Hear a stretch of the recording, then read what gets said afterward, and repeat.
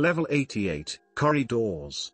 Survival difficulty, Class 1, Safe, Secure, Minimal Entity Count. Level 88 is the 89th level of the backrooms. Description. Level 88 has the appearance of a hotel corridor that seems to stretch to infinity both ways.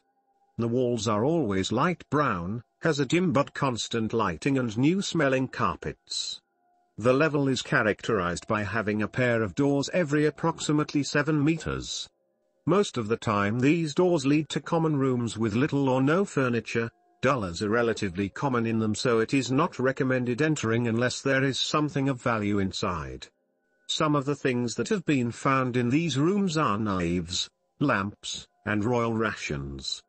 These however are not the only rooms that are worth entering there are also a series of special rooms that you can access through this level. Despite what you may think, these rooms do not adapt to the 7 meter space between doors, they can have a great variety of sizes that can even exceed the sizes imposed by the corridor itself. Special rooms. Extinguisher room. The main feature of this room is of course the fire extinguisher, inside there is a round table on whose top you can see a fire extinguisher illuminated by a ray of light that seems to come from nowhere.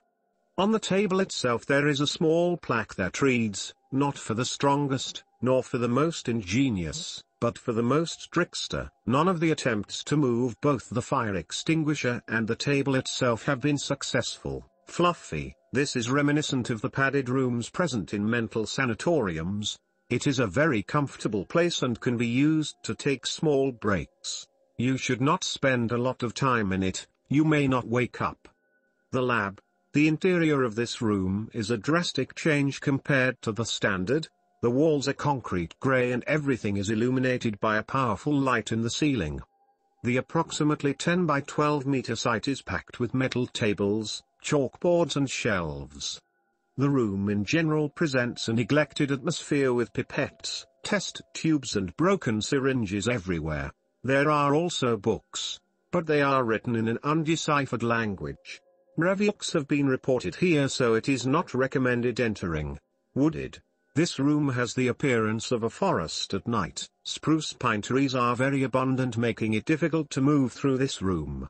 The further you go into it, regardless of the direction, it will pass time, making the sky clear up little by little until morning.